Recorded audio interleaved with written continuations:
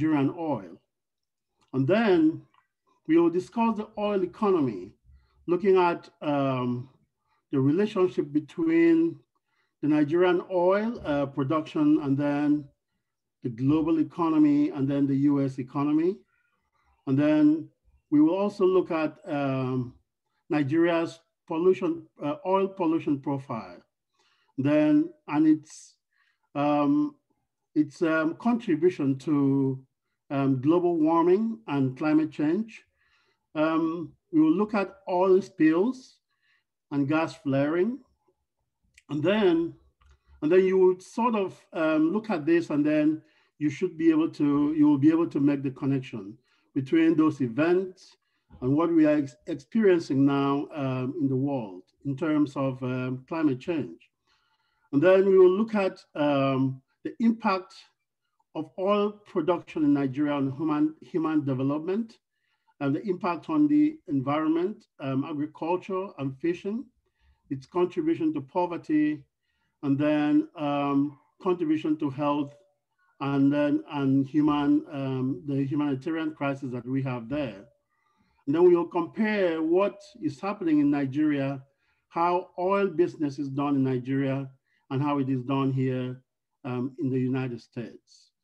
Um, and then I will share a few um, solution ideas and then um, also share with you um, what I have done, um, what I have done um, to help with this situation in Nigeria and beyond.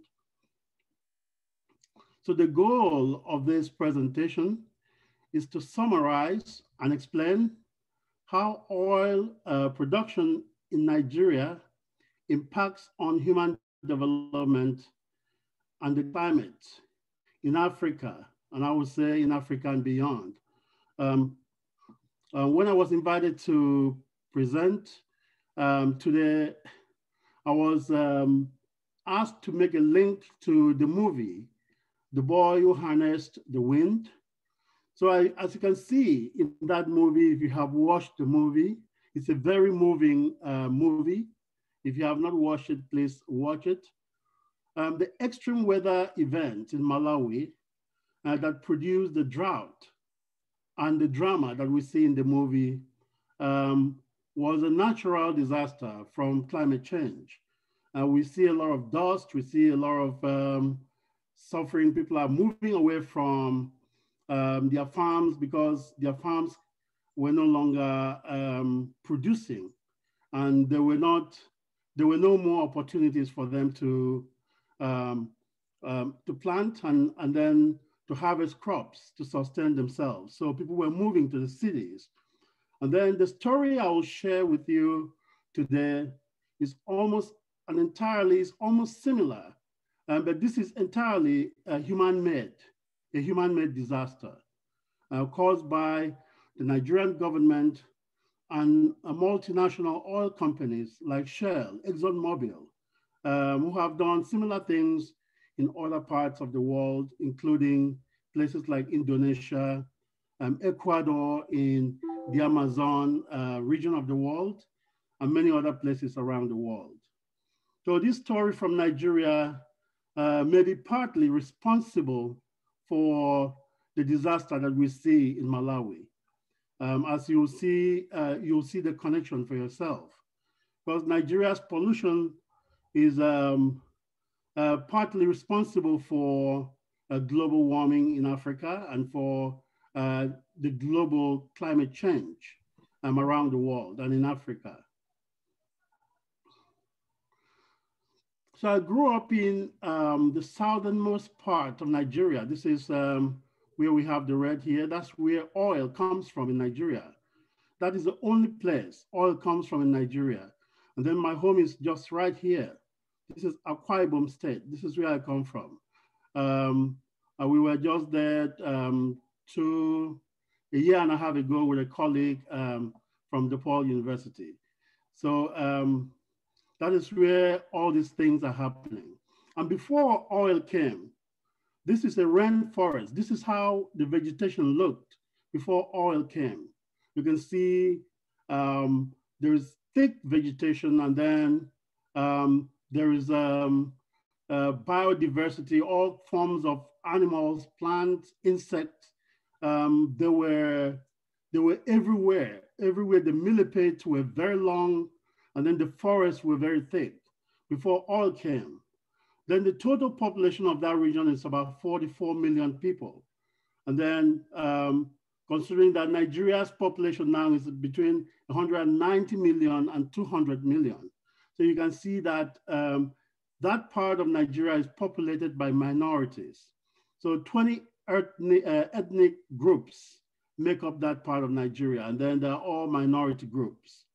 So, um, and this is the third largest rainforest in the world, and then the fourth largest mangrove uh, forest um, in the world, which is um, um really being threat threatened right now by hydrocarbons from oil pollution.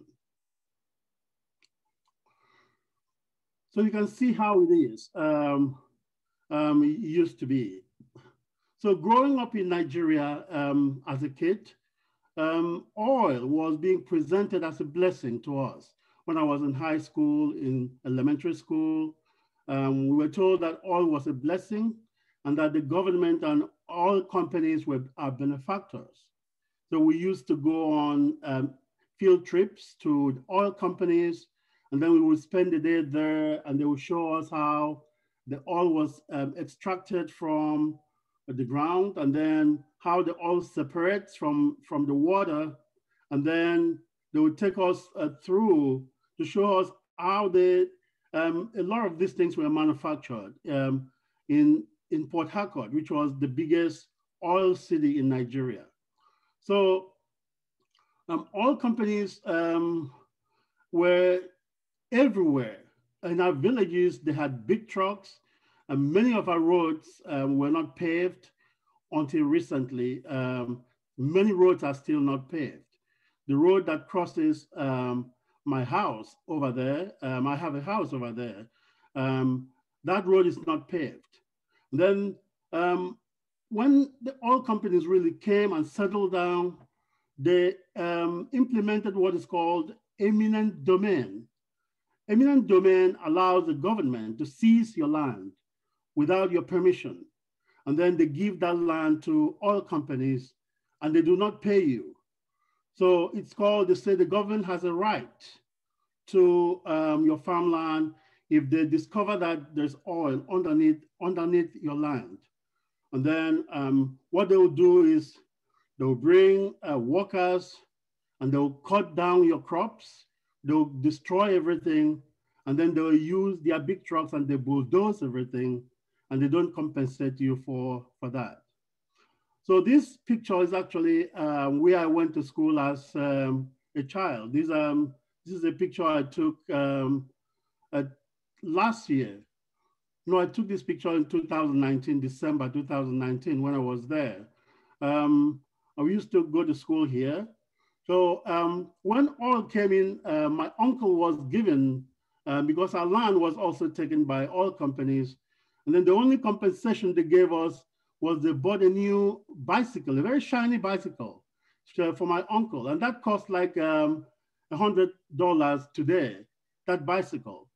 Um, but then our land, as I understood it, produced about 1.5 million barrels of oil for Shell. The only thing my family got for, for, for that much of oil was a $100 worth uh, of bicycle. So and then I think everybody was experiencing this. And then um, as um, the oil companies and the government took over the place, um, there was um, increasing poverty and, uh, and hunger. And then because um, the farmlands were all polluted, um, when Shell or ExxonMobil or uh, Chevron, when they finish drilling for oil on your land, they will leave a big hole there. They will not cover up the hole. And they will leave the, everything standing there and all will continue to spill out of that hole. And they will leave everything there and, and, and move to another place and pollute another place. And they continue on and on and on. And that has been going on for almost 70 years now. So the villages were emptying out because there was nothing left for young people Uh, people were moving to the big cities uh, to find jobs with the oil companies, jobs that really did not exist. So when I was growing up, um, I saw from time to time, um, when we were swimming um, in the rivers, when you come out of the water, your body will be shining like this.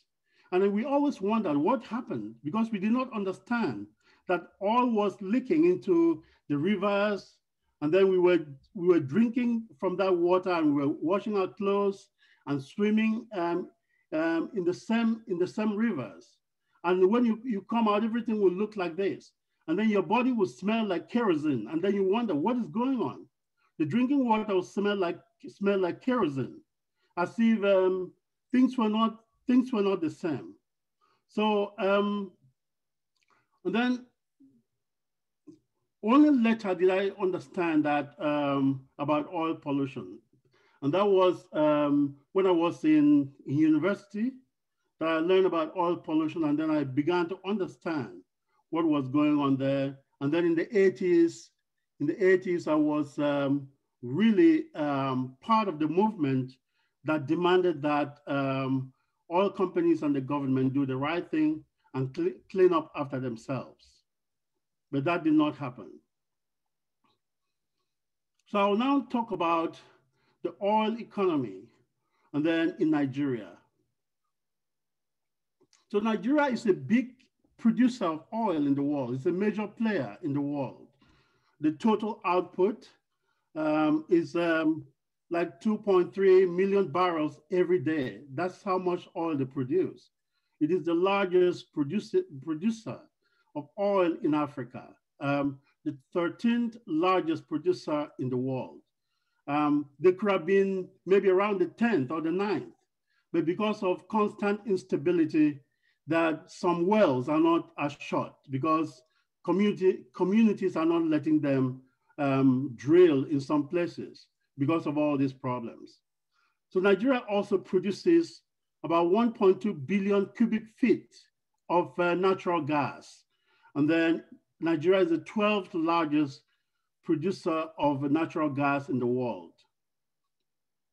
You can see here, oil is very important to the Nigerian economy. Um, it contributes um, about 98% of um, Nigeria's export earnings, about 83% of federal government revenue, and 40% of the GDP of uh, that country, and 95% of foreign exchange earnings, and 65% of government budgetary uh, revenues. So without oil um, in Nigeria, there would, the government would be very, very weak. Um, probably that would not be a bad thing because it might um, also um, force the government to look elsewhere for, for revenue, maybe to develop agriculture more um, or do uh, something else um, to, um, to find money to run things in the country. So there are pros and cons and, and cons um, to over de uh, depending on oil. Um, um, it produces uh, the foreign exchange that the government wants. That's a, that's a plus for the government, I would imagine. And then um, it really contributes to the GDP. Uh, that is a plus. But um, if you know um, places that have oil around the world, especially in Nigeria, you may have heard a lot about um, Russia, the corruption that you find in Russia, the corruption that you find in other places. In Nigeria, there's what is called, um, what I would call um, corruption on, on steroids. So Nigerian governments, um, they can just dip into the treasury and they steal in billions of dollars. I'm not talk, I'm not lying to you. Um, there's um, a government uh, official who stole $6 billion um, just a few years ago. So they're stealing, um, if somebody steals a million dollar in Nigeria, um, in Nigeria, that's a, that's a saint. That's a very holy person. They're stealing billions um, because of the oil. So oil brings corruption to a country. Then it brings forceful eviction of the poor from their, from their resources, from their land. the landowners are thrown off their lands. The farmers are, um, they have their lands taken away from them. Their crops are destroyed. The land, the air, the water is polluted. Um, is polluted. And then there's um, um, a kind of militarization of um, that entire region in Nigeria, where um, the armed forces, you can you find them everywhere. Um, there are police uh, checkpoints everywhere. And then um, until recently, there was armed resistance by the people who, um, who felt that they produce the oil and they get nothing from it. So um, oil is, can be a blessing, um, like we sometimes see here in the United States, um, and then it could also be a curse, like we sometimes see here in the United States. Um, but in Nigeria, oil is more of a curse than a blessing. So let's look now at the links uh, between Nigerian oil and the global and US economy. As you can see here, um, I don't know whether Organization of Petroleum um, Export Countries, um, we call them OPEC. You can see here that um, Nigeria is um, Nigeria is up here. Um, Nigeria as Nigeria is a member of this uh, organization. And you can see here that the demand for oil is still going up. It's still going up. And then um, North America, where we are now, uh, still has the highest demand for oil. Um, you can see here, and then um, we have uh, Asia and Pacific. And that, that would be because of China and India. Um, the United States, uh, Canada, Mexico, um, and um, they, they have, they still have a large appetite for, for oil, even though we are talking about um, moving to renewable energy uh, sources, but there's still that high demand for oil. And you can see that the United States um, is um, the top consumer of oil in the world, followed by China, and then Japan, and then India, and so forth, and Russia. So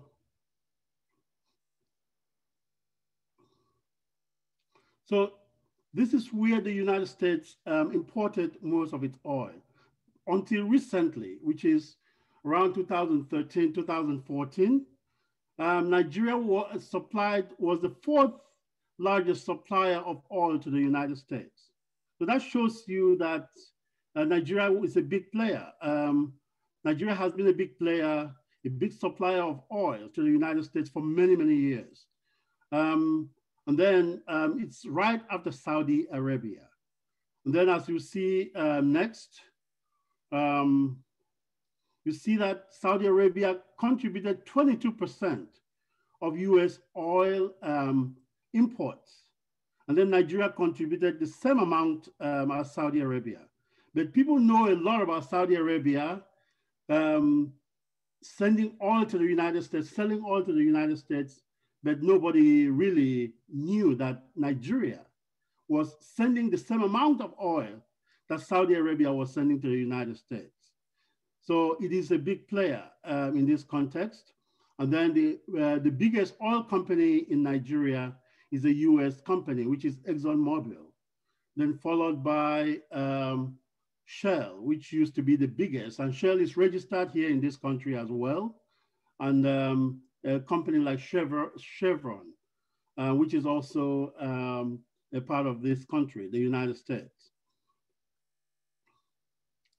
So you can see here that during between 2000, um, 2010 and then 2014, so the US import of Nigerian uh, oil um, of 2015, it went down.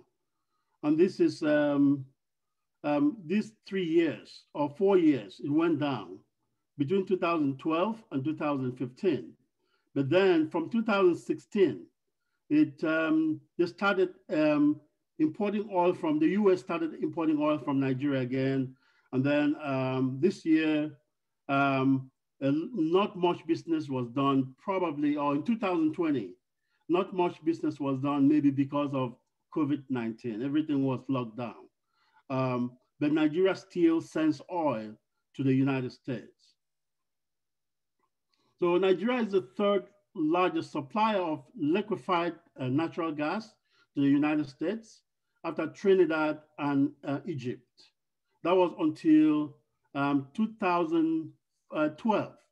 That's the period that we saw here, um, things began to change um, because there was too much criticism, uh, human rights abuses in Nigeria, and the whole world was angry at what is going on in Nigeria. So the US pulled back and then they imported more oil from Canada and from Mexico.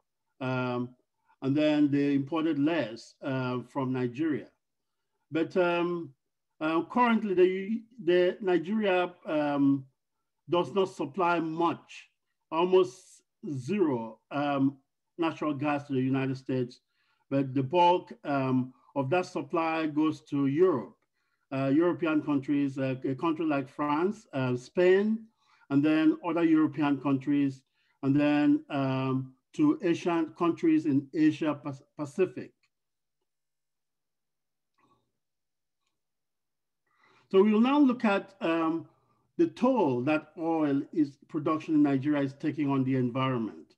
Um, we traveled there, um, uh, Dr. Um, Margaret Workman, who I believe is um, on this present, uh, presentation, Dr. Workman is a professor, uh, professor at, um, at DePaul University. So she and I um, traveled to Nigeria. We actually went and saw, visited some of these pollution, uh, polluted site. And then we saw some of these, these things um, that I'm going to tell you. So the BBC described Nigeria um, a few years ago as the world oil pollution capital. So that shows you um, Everybody knows about this. Um, uh, it is uh, the most polluted place on earth by oil. It is the most polluted place in the world by oil. So there are two um, principal um, oil pollution pathways in Nigeria. The one is through oil spills, and then the other one is through gas flaring. And then between 1970 and 2020, there were more than 800,000 tons, tons of oil spilled in Nigeria and about 650 billion cubic feet of uh, gas flared in Nigeria. So that is um, the second uh, worst, um, the, sec the, the, the second worst in the world after Russia. And then Nigeria has the worst oil spill profile in the world by far. So, and you can see when you go there, um, travel there, um, the rivers where I used to swim, um, that river is completely closed. No one can go near because it's uh, now very toxic. And then there's no more fish in that river. Um, you go to many rivers that are like that. Um, and then sections of the country, the, the World Health Organization, and then the United Nations Environmental Program, they recommended that no one should go um, near those places, that human beings should be evacuated because of pollution. So about 800 million gallons of oil, um, ex excluding uh, toxic waste, have been spilled in Nigeria. So imagine that 800 gallons, 800 million gallons. And these um, 800 million gallons of oil um, only less than 1 million has been cleaned up for almost um, 65 years. For almost 65 years. Only 1 million um, barrel, about only 1 million gallons of oil have been cleaned up, which means that about 700 million gallons have not been cleaned, and then it's still there. Um, then oil spills contaminate um, the region, and then and then there are high levels of. Just a second here. So oil contaminates the region's water with high levels of hydrocarbons. And then um, in 2011, the United Nations Environmental uh, Program estimated that um, they did a study, and then they said that um, even the underground water in Nigeria, uh, in the Niger Delta, is contaminated by about 3.1 um, inches um, of, of oil, refined oil, is flowing underground. Is flowing underground, which means that if you dig a hole, um, if you dig a well in Nigeria, you cannot even drink from that well because the well is polluted by oil. The surface water where we used to swim is polluted. The underground water is also polluted. So, um, and then it was recommended by the United Nations that the government and all companies should supply uh, bottled water to people for, uh, and they have not done that up till now, since 2011. And people are still drinking this. Um, they're still drinking this polluted water since that time. So when you compare, look at it. I don't know how many of us here are old enough to remember um, the disaster, the Exxon Valdez um, disaster in Alaska, um, which was, um, uh, which happened, I believe in 1989. That disaster, all disaster spilled um, about 11 million um, barrels, I believe, barrels of oil 11 million gallons of oil into, um, into the Prince, Prince William Sound in Alaska in 1989. So that type of event happens every year in Nigeria, every year. There's that amount, there's, there's always a big event like that happening where that amount of oil is spilled at one time every year, excluding other smaller spills excluding other smaller spills that are going on um, in that country um, every year. So this is us here. You see, this is me. Um, this is uh, my colleague, um, uh, Dr. Workman. And then um, these are community um, environmentalists in Nigeria. So we went to, to visit the first oil well that was drilled in, in, Nigeria. So this is the second oil well that you see here. This is the second oil well that was drilled there. And then uh, this is the first on the left. This is the first that was drilled there. And this build thing you see here, um, I'm going to explain to you here. The Nigerian president went because in 2001, if parts of the Niger Delta was shut down, the people did not allow oil companies to go to drill anymore. They picked up arms and they say, you are killing us. Get out of our communities. So the Nigerian government went there and they said, they promised, we are going to do this for you. We are going to build this for you. We are going to give you this amount of money from now on. Things will be done differently. And they went and put up this plaque, what you are seeing here. And there, this plaque, what is here reads, Oloibiri Millennium Landmark Projects. Nigeria's first oil well, 1956, laying the foundation stone of Oloibiri Oil and Gas Research Institute by His Excellency Chief Olusegun Obasanjo, President, Commander-in-Chief of the Armed Forces, Federal Republic of Nigeria on March 2001 to the glory of God and service to the Niger Delta people of Nigeria. So they promised to build that institute. And then since 2001 till today, this is the institute that you are seeing here. This is the building. So this building here represents the institute that they promised. So as you can see, um, the institute was not built. None of the projects that the government has promised or the oil companies have promised, none of them has been done um, uh, in any meaningful way.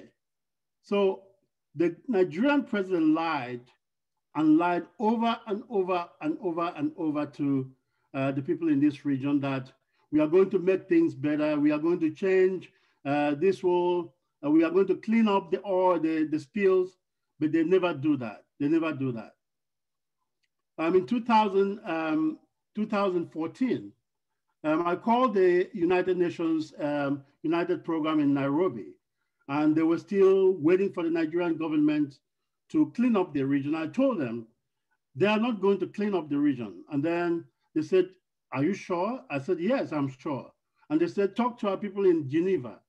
And they gave me the phone number and I called the people in Geneva. And I talked to them and they said, we don't want to talk to you. You don't know what you are talking about. The Nigerian government are going to, they have given us the award. between, since 2014, they have, this has not been cleaned up.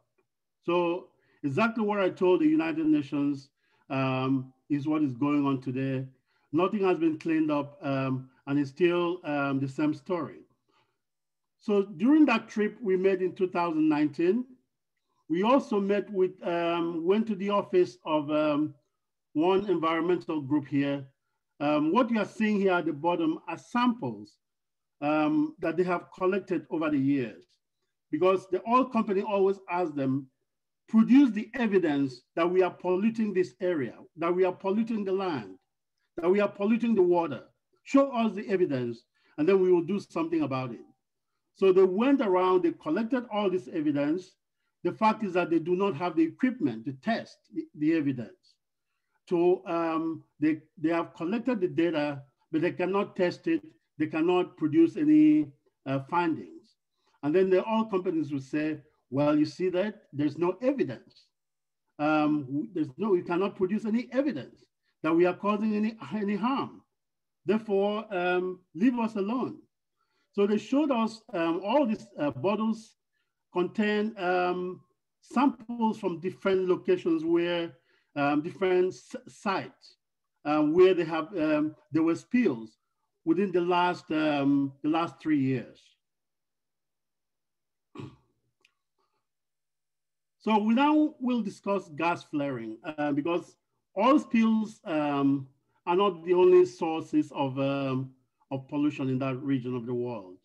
We also have gas flaring, um, which is when um, oil is being drilled, there are all types of gases that, um, that come out from the ground.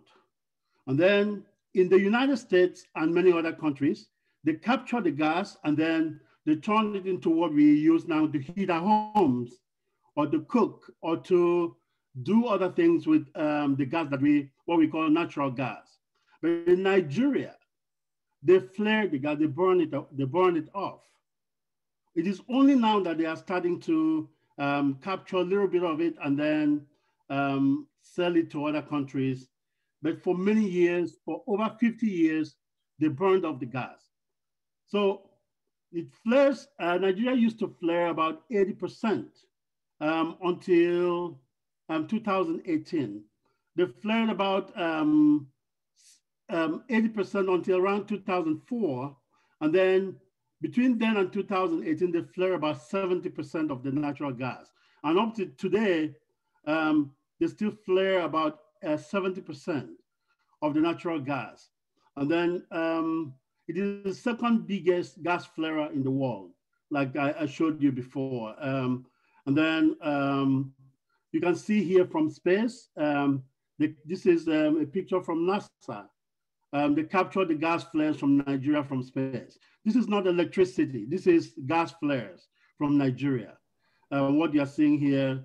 Um, and then let me show you uh, more of that. Um, this is also um, captured uh, by NASA from space, um, gas flares from Nigeria.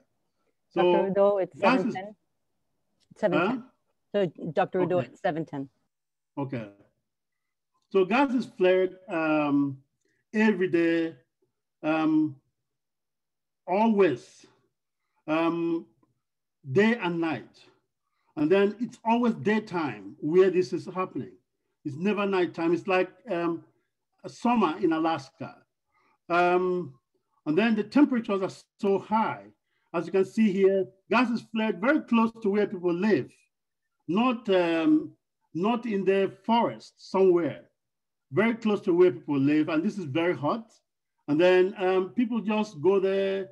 They, they are not being educated about the dangers of this. And they just think that they can just go and dry their stuff around these, um, these flares.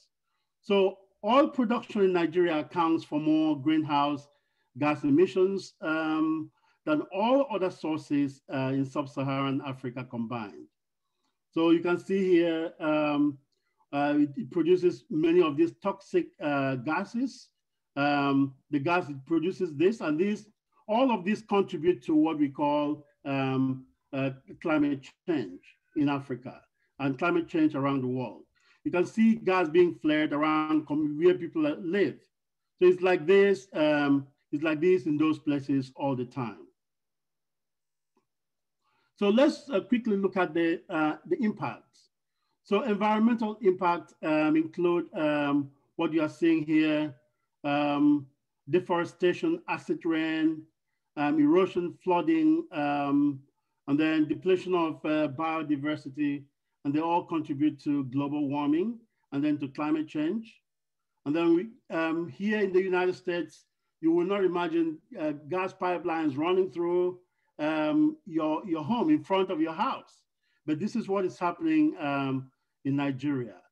Um, and then um, because of this, um, Nigeria has lost nearly 80% of its old growth forest. Um, and then, and this is the highest deforestation rate of natural forest in the world during that period. So these are the socioeconomic compact, uh, impacts, um, eminent domain that I discussed before, uh, leading to degradation of um, sustainable livelihood. They take your farm, you have nothing to, um, nothing to, to do. You have not, no, no work. And then people migrate to uh, different places. And then the women are trafficked. And then um, they are trafficked to Europe I'm going to show you the pathways that that takes um, very shortly. And then um, a lot of people die from this, um, from loss of hope. And then the farmers, um, the far, those who, uh, most of those who are uh, who, who, do fishing um, are women. 75% of the farmers are women. And then um, that includes also about 65% of those who, who fish in that region of the world. So you can see this increase in unemployment um, because of um, this type of situation. The fact that everything is taken away from people by oil companies and the government. And then because of that, there's this um, high unemployment in that part of Nigeria. So you can see also um, that there is very high cases of girls being trafficked from the oil um, from the oil producing areas of Nigeria, and then they are trafficked to um, to Europe um, through Libya, and then they are trafficked into Italy, into Spain, into uh, many of those countries, and then um, they have this traffic. You can see that this thing here. This is the Niger Delta. This is how they go. They take them through um, many of these countries through Libya here, and you can see um, the leave from Benin City, which is um, not far from where I come from, where I was born. And then they go all the way to Malta. From Malta, they go to um, different parts of Europe, and then they stand on the street as prostitutes, um, as sex workers. I'm sorry to say that. So as sex workers. So we also have health impact um, skin diseases, uh, poverty, hunger um, arising from many of these things. Um, then like we saw already, uh, human trafficking, and then we see um, inequality. Then there's the death of manufacturing and agriculture uh, results in violent conflict in that part of the country. And then the, those who are engaged in that conflict often uh, rape, uh, rape a lot of people and then they kill a lot of people and then people get infected with um, deadly diseases um, like um, HIV, which is um, which has the highest um, rate of um, transmission and infection in this part of, of, of Nigeria. I'll quickly, before I end, look compare what we see here in the United States, what we have here around the Chicago area here, and what is happening out there. Um, in Chicago, we we have problems with pet coke. Um, don't know what, um, how many of you have heard of pet coke.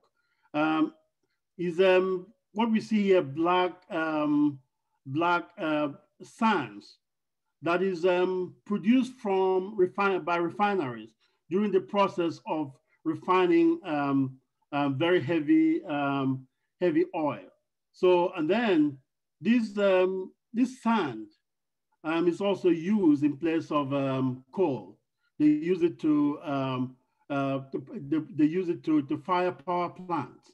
And then we have a problem with that um, in Chicago. And have, we have mountains of these sands. Um, we used to have them in the southeast part of Chicago. And when the wind comes, it will blow like you are seeing here in this picture.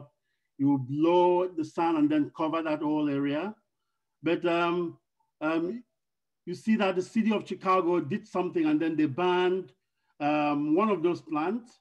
And then we have um, some incidents of oil spills here, but uh, the EPA has always um, um, done it, what we call a, a good job um, to compare to what we have in Nigeria to clean up as quickly as possible.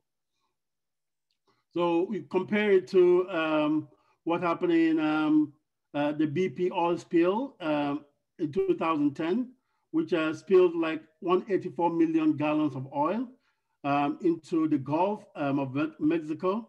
And then um, um, BP paid dearly for that. Um, they paid billions of dollars for that. And they, they cleaned up, even though the impact is still there, but they did uh, make an effort to clean up that.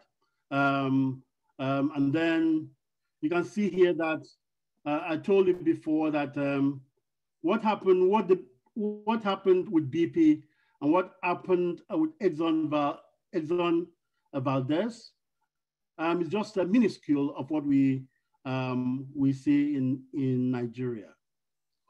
So um, BP paid dearly, like $65 billion. Um, they have paid so far um, to help clean up um, uh, the, the Gulf and then also to pay compensation. But in Nigeria, they were proposing a billion dollars um, to clean up um, um, that, that uh, the Niger Delta, and still that billion dollars has not been allocated up till today. Um, so how do they compare? Um, um, we have um, spills here in the United States range from small spills to major disasters that we have seen. And then there's always prompt government action and then prompt remediation action from oil companies. And then public outcry always drives a positive, positive change in the United States. And then in Nigeria, we have um, spills that range from small events to mega disasters. And then there's always government cover up. And then oil industry bribes and, and, and, and threatens um, people to avoid remediation and accountability. And then public outcry is always suppressed with soldiers. And then, and the police, um, and all of this is always paid for by uh, oil companies. And then you can see here Shell um, paid um, 15.5 billion uh, million dollars uh, a few years ago um, over their complicity in the killing of um, Ken Saro-Wiwa. Um, I don't know whether you know, this was a major um, environmental activist in Nigeria who was killed by Ni the Nigerian government. He was hanged by the Nigerian government. But recently, a few weeks ago, um, the protests by the native people in the United States against the Keystone Pipeline prompted um, uh, Joe Biden, President Biden. He, he signed uh, papers and then said that project will not go ahead because he listened to um, he listened to the voices of the people. Um, you can see here um, BP cleaned up consistently for three years and then they stopped and then they handed that over to the states to continue cleaning up. Um, here in Nigeria, um, in Nigeria, there's always a cover up. Um, and then all companies do everything possible to avoid um, clean up, cleaning up the place. So I have the following um, recommendations, um, recommendations that we can use um, because many people here in the United States have shares in um, these oil companies, um, the shareholders, the home governments of these companies, and then the international um, community can pressure these companies to uh, be more responsible, more transparent, and more ethical in their business practices in Nigeria. And then there should be pressure on the Nigerian government um, through um, the US uh, Congress, which has a big sway um, over the Nigerian government to respect the human and environmental rights of the Niger Delta people. There should be gr uh, greater global cooperation against corruption, um, authoritarianism, and human and environmental rights abuses. And then there should be training and empowerment of community activists to collect and analyze environmental data so that they can organize and advocate for themselves and their environment. So I recommend that we should teach adolescents and youth about environmental conservation and advocacy um, here in the United States and in Nigeria and um, everywhere else. And then we should also teach jobs uh, skills um, to unemployed women um, and youth and those who are uh, forcefully displaced um, and whose farmlands have been taken away by government in Nigeria and taken away by um, oil companies in Nigeria for the purpose of drilling for oil. Um, and then I also think that resources should be made available for self-empowerment and community engagement, resources such as community libraries and then resource centers and so forth. Um, these are some recommended um, suggested readings um, that I have. So you might be wondering, what have I done? I'll quickly talk about that like two minutes or one minute. Um, what have I done myself? Um, I have been working with um, environmental groups and with colleagues at uh, DePaul University to try to um, develop programs that we can implement um, in Nigeria to teach young people, to teach elementary school students, university students, and the prim primary school or high school students about environmental conservation. And then we are also working on empowering um, um, community-based organizations and activists so that they will, um, uh, we will find a way to provide them with um, um, the way of conducting a test, scientific test of any, any sample that they collect so that they can have evidence to uh, present to um, oil companies and the government. And then uh, recently, while visiting Nigeria, like we saw in, in the movie um, that we started out with the movie, The Boy Who Harnessed the Wind in Malawi, um, what helped that boy was the fact that he was able to um, access a library in Malawi. And then when he accessed the library, he was able to find resources that helped him develop, um, create a windmill that was able to um, pump water from, from the ground. So um, most recently, I have been working with people and then I working with um, colleagues here in the United States with Books for Africa. Um, you can see here, this is, um, these are books in my house in Nigeria.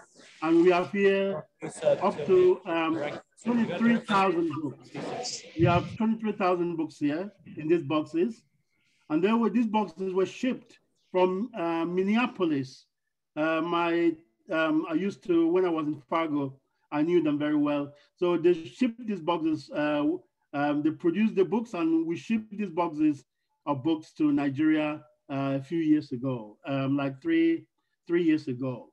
So my, my dream is to uh, build a community library, a big library, and build a big center that can serve as a resource center for young people, for activists, for all sorts of people over there, so that they can uh, gather and then discuss these things. Because as, as you are seeing here, um, the schools are not doing well. Um, the libraries, um, let me show you one example. This is, um, this is one school library. This is a library, believe it or not, it's empty. This is what they call a library. and there's not a single book here. So, so if there are books, if there's a library, if there's something like that um, available, then um, a lot of things can change. Because what made it possible for me to come here to the United States, for me to be able to speak here today and to teach at these fine universities is the fact that I had access to books and I was able to read anything that I laid my hand on, my hands on. I was able to read and read and read and read. And that helped me break, break out of that cycle of poverty. So, um, so that is what I'm planning to do to get people together and then create a library where young people can go and read and then empower themselves and dream about a better tomorrow. Thank you very much. Oh, thank you very much, Dr. Udo. Uh, we have a couple of questions. Um, uh, first of all, um, Lucy is asking about the, if when property or being that property was seized, um, uh, how and people were not compensated in those cases, what did people who were forced to evacuate do? Um, people who were forced to evacuate, um, the they would do nothing because um, when they seize the property, they have soldiers with them, uh, and then they will station the soldiers there permanent, permanently um, until the project is the project is completed. So you will not have a voice. In many cases, when they seize your property, if you complain, they will um, they will kick you out of the community. So they will use soldiers and the police and then if you continue to complain and don't move, then you they will kill you, they will shoot you. So it's, um, it's a very uh, military type operation. The oil companies um, own the military uh, in Nigeria, and then they use them to threaten the people and take their resources from them. Okay, thank you. And Karen asked, uh, why do you think Nigeria is the most polluted country in the world? And if First of all, if there's an opportunity to tighten environmental regulations to reduce that pollution, or if there's a way of holding the companies responsible uh, for cleanup. And also Karen Baran also uh, asked the, same thing, how, if any big oil companies have been reprimanded for their wrongdoings. Um, the companies have been reprimanded. Um, the Nigerian government has passed laws, um, but at the level of enforcement, these laws are not enforced because um, the oil companies would take, um, let's say, um, recently, um, ExxonMobil is still battling in court um, because they were they were accused of um, bribing um, some people in government up to 1.6 billion dollars. Wow! So they would take this money and then they will bribe the the law enforcement people, and then they will not enforce those regula regulations. So it is a, a system of bribery um, that is perpetrated by uh, mostly Shell um, in Nigeria and ExxonMobil.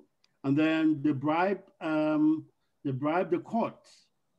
Um, for example, Shell, um, Shell was um, actually asked to pay the equivalent of, it was 50,000 Nigerian Naira, which is equivalent of, at that time, it was like um, um, $250, I believe, $250. And then Shell argued in court that if they are asked to pay that money to the owners of the land, that they would go bankrupt. That was what Shell said. Wow. That if they, are, if they are forced to pay $250 to the owner of the land, that they would go bankrupt. And then they bribed the judge and they did not pay that money. Okay, it's 7.30. If anybody needs to leave, we of course understand. If anybody wants to stay, there's a couple more questions. And if you have other questions, you can unmute yourselves. So um, um, one of the, uh, of the questions was also if there's any way like uh, of, of cleaning up, if there's any, if, if, um, if there's any way of tightening those environmental regulations, or is that also a matter of, of you know, government being bribed and nobody wanting to do anything about that? there's there's a way of cleaning up, um, but then um, the UN was supposed to, the United Nations was supposed to um, um organize that effort, but then the United States, uh, the United Nations as with everything with the United Nations, which is um, sometimes it is a good organization, sometimes the UN is not effective. So the UN delegated that mission to the Nigerian government. Mm. And then, um, and the Nigerian government has not cleaned up um, up till now. Okay. So the, um, there's no way you can force the Nigerian government to clean up. Um, sometimes they say they are cleaning up, they allocate the money to clean up, and then the money will disappear. So um, um, the best, the only way this can be done is for the international community um, to, to, to become involved in the cleanup exercise. Um, and then if they can become involved, then that will happen. But if they leave it to the local actors alone mm. to clean up the place, it will not happen. Okay. What about renewable energy? Is that something that uh, is Nigeria thinking about in any way? Well, some people are um, actually using solar panels. Um, there's a place I went to. Let me see what I can show you. Um, I went to um, when I was in Nigeria a few um, in 2018. I went to visit my friend. Um, my friend is um, is a, a rector of a, a, school, a junior college, mm-hmm. and then he was using um, solar panels to was using solar panels to um, to power the, the whole school. I was very impressed um, that he was doing that. And then, let me see whether I have it here. Well, I don't have it here, but um, it, uh, that is being done. Um, but it's very expensive over there. So, so that only um, institutions like that are considering uh, sol solar panels. And then um, um, I hear that a few, a few um, wealthy people have also installed um, solar panels, mm -hmm. but I have not seen anything about like windmills, which is something I have been thinking about um, also. Um, but many of these places um, in the Niger Delta, um, there's no electricity. Um, many homes, I would say 90% of the homes are not electrified. in spite of the fact that they live in an ocean of um, energy. Yeah. They produce oil and natural gas in abundance, but they do not have electricity in their homes. Wow. So, um, so renewable energy is something that um, they have people have talked about, but it's not widely implemented yet. Okay. Okay, I don't know if anybody has any questions they want to, if they want to unmute themselves and, and ask. If not, I think this has been a really amazing and eye-opening talk. I think we've learned a lot about what we should learn more about. Thank you very much, uh, Dr. Udo. Thank you very much, everybody, for attending. I have a question. Oh, yes, sure. We talk about this renewable.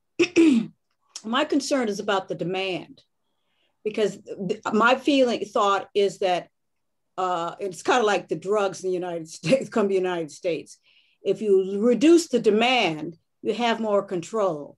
And uh, I, I'm not certain that, that, that folks will give up the demand less Amer- since America is essentially the number one country on the planet that's consuming vast amounts of energy. That's up. That's up. To reduce our demand, might have more of an impact. But that always also contention with, with that would mean that we have to give up a whole lot.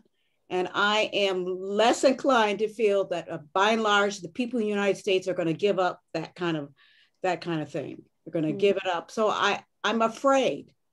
I mean, I, I, I hadn't been to Nigeria many years ago. I was living in Senegal and I took a trip across Senegal, Mali, uh, and I went to Niger. Uh, you know, not, not quite to Ag- uh, Agadez, but I did see didn't see oil, but I did, did see certainly and spent time uh, in that desert region and knowing something about um, the issues regarding uh, uh, uh, the importance of renewable energy, the you know the devast- climate devastation. This was many years ago. I'm just afraid that, um, and, and, I also and then later on I met a man who, here in Chicago who was a became a refugee and Ogoni fellow because he was an activist in the Delta Niger region and got in trouble and, ha- and had to flee to Kenya and then eventually made it to the States. Um, so I, know, I, don't really understand your question. I, yeah. I, so could you possibly can he speak to that? Could uh, could the doctor speak to that? Because um, I I don't know how we would work around that without somehow addressing the demand issues. Yeah, I, I think you are you are right. Um, Nigeria doesn't even um, people don't even have electricity in their homes with um, um, non-renewable energies so abundantly available. Nigeria doesn't even, the refineries are dead. They, they send the oil to Britain and then they refine it in Britain and bring it back and sell to the Nigerian people. The reason they do that um, is because um, they can inflate the cost. Um, when the, the, the finished product comes back into the country. So it's a, it, it's a, a scheme a corruption scheme. Um, that's why they allow the, the refineries to die.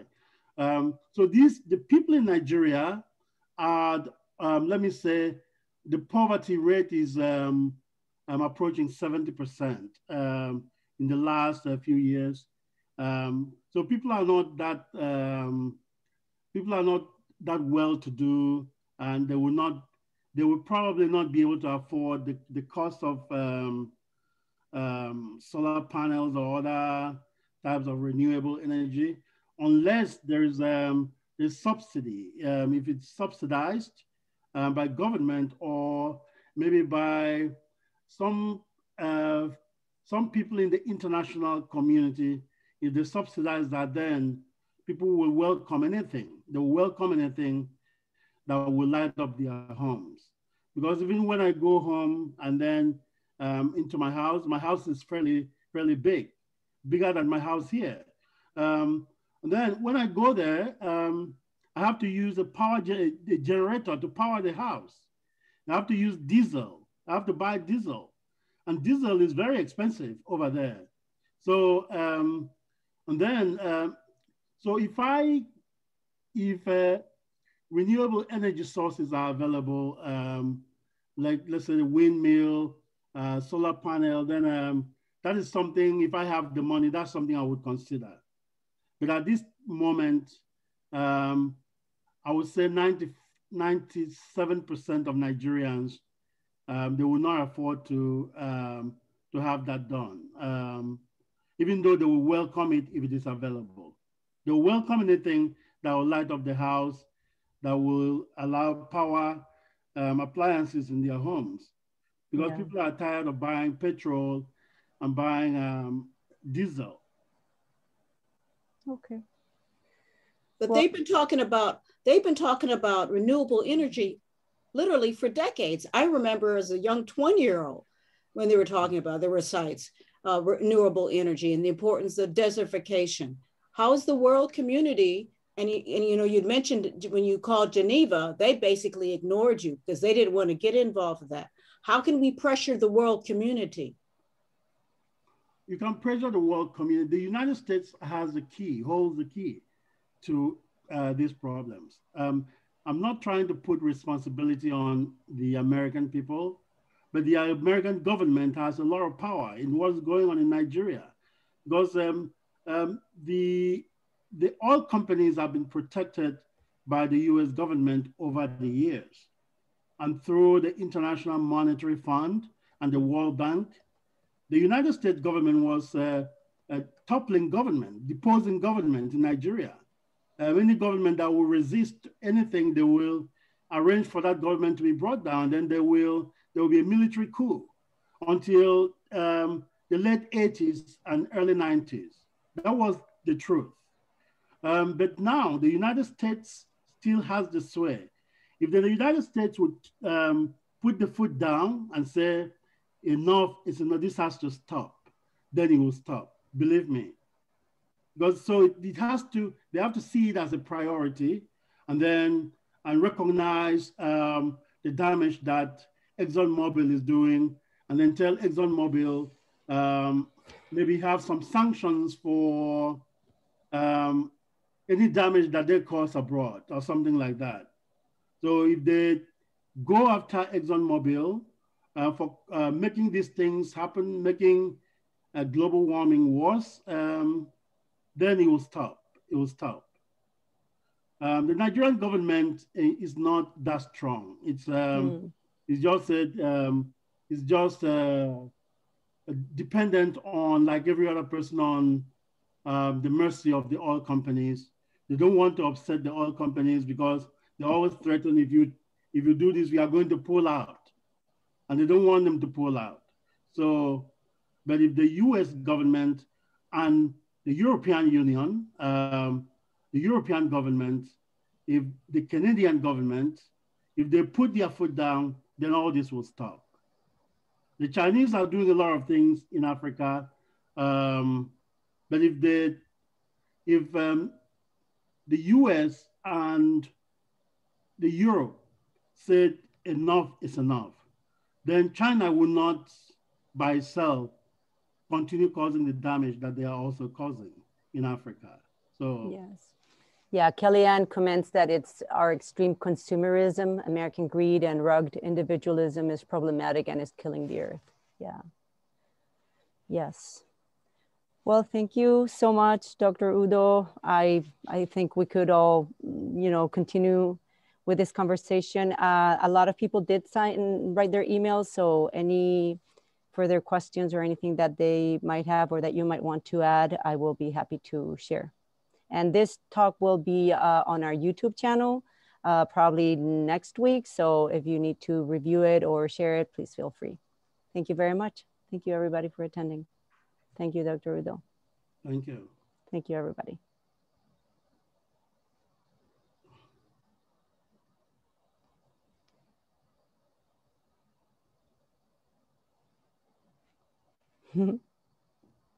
Hi, Maggie. okay, let me see. There's one more comment. Yeah, thank you. Mm. Okay. Mm. I'm impressed you didn't need to drink. No, I was. Uh... Oh, I think, I'm sorry. I don't know if there's a lady that wants to speak, Miss Cherie Lockett. I don't know if her hand is up. I can't hear yes. you. Yes, You're yes. muted. Right. I'm sorry. Do you know Eddie Kaka? No, I don't. Okay, I'm just wondering if someone I worked with many years ago who was the refugee became a refugee because he okay. was an activist in uh-huh. the Delta region, mm-hmm. and uh, he did. I think he got a master's at DePaul. Okay, but he was. I had an extensive conversation about that. But thank you very much. You're welcome. Thank you thank you. Coming. Thank Bye. you. Dr. Udo, if you want, tomorrow we can debrief. Okay. Okay, and I'll send you the list of the students. something and then we can debrief. Okay, wonderful. Thank you so okay. much. Thank, Thank you. you. Have a nice okay, evening. Bye-bye. You too.